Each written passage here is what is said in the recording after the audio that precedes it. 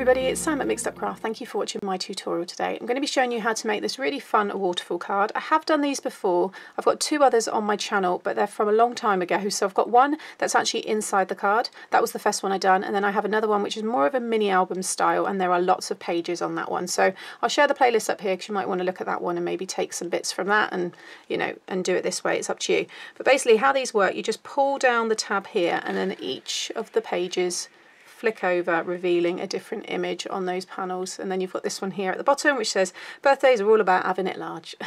So this is the perfect one for any of those fast food you know burger loving fans that you may have. And then inside I've just got happy birthday to you. And these are very very easy to make. I did make it during the Facebook live. I will share that link below because I will show you some of the colouring there and just how I kind of stamped those panels because I have all that ready for this video just to keep it nice and short. But like I said the links there if you do want to go and check those out out so let me show you how to make it. Okay so this is the stamp set I used it's by For the Love of Stamps and it's Fast Food Fun. When I looked during the Facebook Live it was still available on Hunkydory's website and they've currently got a three for two offer on on their stamp sets so if you like the oh no, I think the don donut one has run out, so I won't rub that one in because I know a lot of people couldn't get the donut stamp set that I shared in the donut card the other day.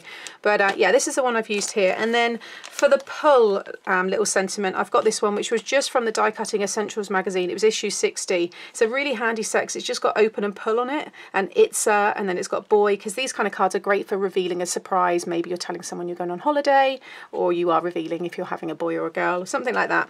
So that's the stamp sets I've used. Then the good old holographic cardstock, I pulled out this one, which is the Dovecraft, and it's the A4. But again, that's all optional. That's just how I've decorated, you know, the detail on mine. And then these are the papers that I've used. So it's this gingham print, and it's a free download, and I will share the link below. And all you have to do is just enter your email address and then you can always unsubscribe after you've downloaded the papers if you don't want to you know receive any more you know information from them.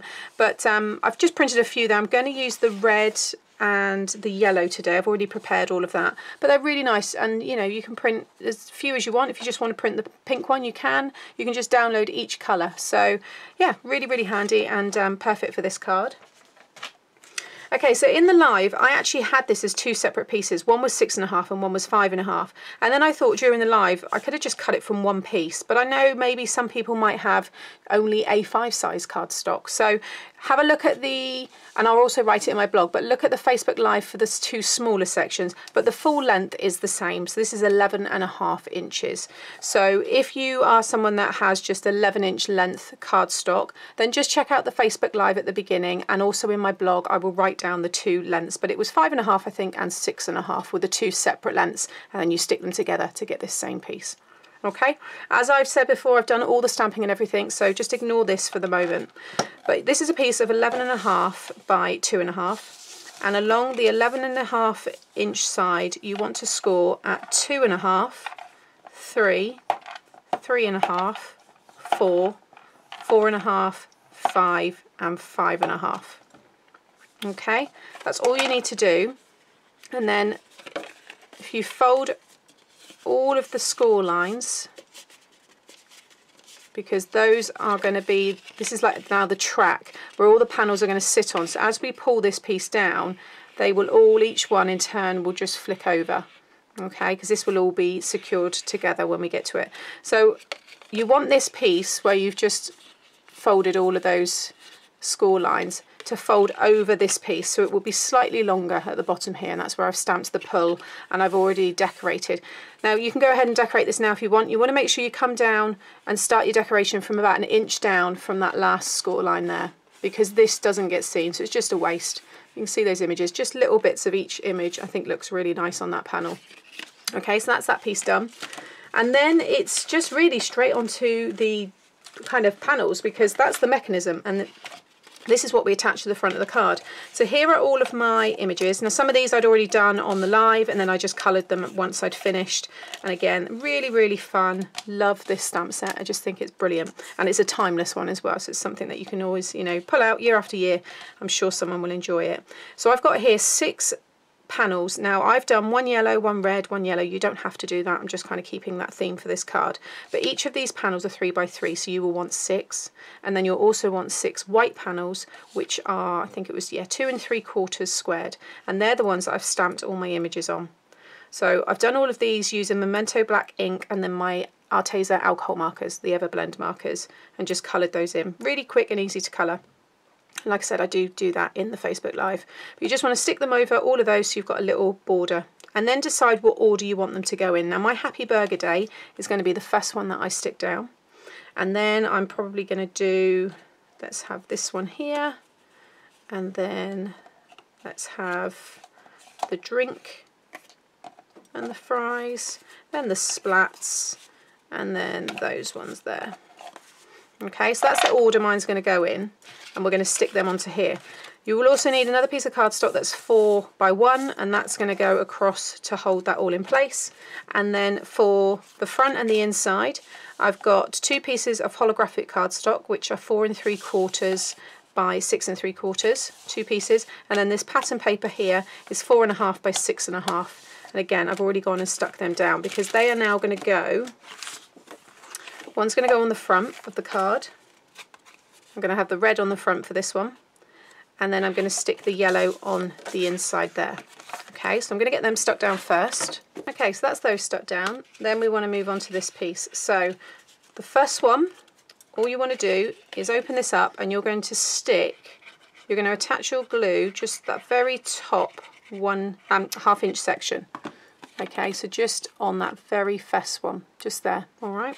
And then with this one here, you want to lay it over the top. It's good to use a liquid glue because you've got a little bit of wiggle time. You want to make sure that you've got an even overhang on both sides there.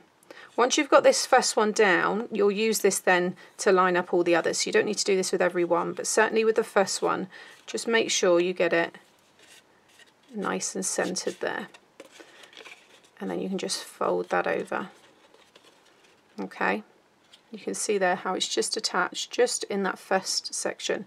Then fold that one over. You want to add glue to this one. Do try and make sure you keep your glue within that half inch section.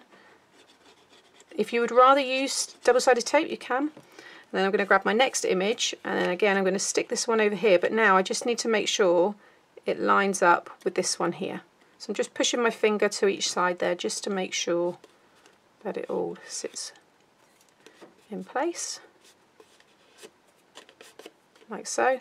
And then again I can just fold that one over. And then again grab your next image. Oh I just realized I need to make sure I'm doing the right colors in order so I need to have the yellow actually. So I'll do that yellow one and then the splats. Um, there was a reason why I chose the two separate colors so some of you might have already thought that when I just put them in order that the colours weren't in the right order so good job I noticed. So yeah I want to have mine so it's yellow red yellow red yellow red. But and then again just fold that one over on the next one and just repeat that until you've stuck them all down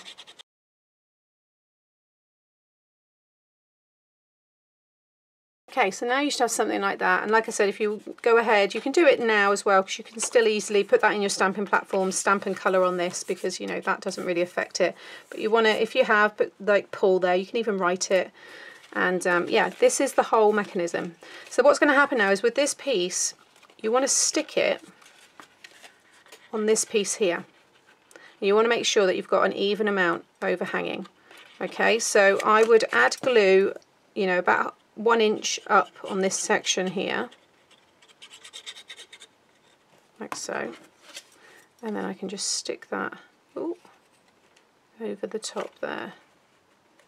I'm just going to turn it over just so I can make sure grab my ruler there. So it's three quarters three quarters just a little bit that way. There we go. You can always trim a little bit off of one side if not but now can see there how that overhangs. See, I think I've got a little bit more on this side. Let me just check my measurements there. I may need to trim it. Yes, yeah, so that's bang on. That's a little smidge. It's like the tiniest amount. So I'm just going to take a little slither. There we go. There you go, bang on. Okay, so that's what you want to have there. And then all you're going to do now is turn it over is add glue just to these bits here you know, again, red tape will be okay. And if you're using a liquid glue, can you see there, make sure you don't go right up to this paper because when you, you know, kind of like squash it down, you don't want the glue oozing out and going in, inside this mechanism. Now hover it on your card. I'm going to use this kind of line here above the white squares. Is where I'm going to stick this down. And then I'm going to make sure I've got it even overhang here. And then the rest should just all fall into place like so. So it's all contained within there and then you can just slide that, just push your finger on it and you can see there. And because this is a nice strong cardstock this is a 300 GSM so it has you know that nice kind of movement and it's got the strength to be able to push that all back up again. So it should run very very freely. And this is the simplest easiest way to make these cards and then I've got these tiny little stars which I found which are old Stampin' Up ones these are the last two left so I used them on that other card and I just think the stars go really well with this diner inspired card. And then all I've got to do is stamp the inside, which was using a My Favourite Things stamp set. Again, I will link it, but I'll do that off camera because um, you know you know what to do there. I'll give you the measurements for the mat. But that is the card finished. Just bring in the other one there, and again, I'll just tell you the mat size for this white piece here. It was three and three quarters by five and a half. So I've got room there and I'll just redo that for this one. But again, let me just bring them up. They are very, very easy to make. They look so complex and so hard to do, but they really aren't. And you can take as long as you want with these. You know, you may have pre kind of printed images. Lots of people use photographs on them as well. So it's a really nice kind of keepsake. You know, you might want to show, it could be for someone's sixth birthday and you have six photos on there, one for each year or, you know, there's just loads and loads of ways to do it. But again, if I just pull that one down, you can see there all those fun fast food images which always make me hungry. So there you have it. I hope you've enjoyed this updated waterfall card from me. As I said, check out the links there as well just for those other ones because they're a bit more, there's a lot more pages and just the other one is basically putting that mechanism inside the card. So there's that option as well. And they do stand up. So again, just in case you're wondering, they will stand. So thank you for watching. And as always, please consider subscribing if you haven't already, so you get to see more fun tutorials. Please hit that like button, it's very much appreciated. And I'll be back very soon with another video. See you then, bye.